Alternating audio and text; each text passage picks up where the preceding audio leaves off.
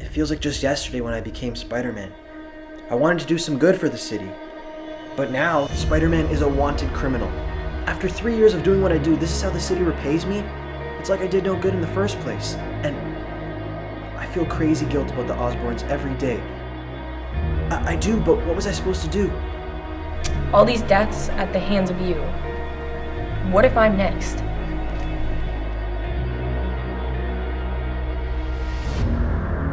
Maybe if I stop him, I can prove myself to the city.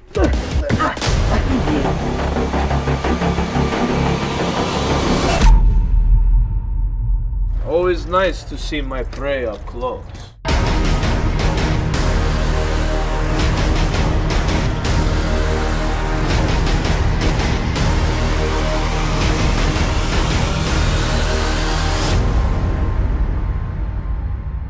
Peter, I know.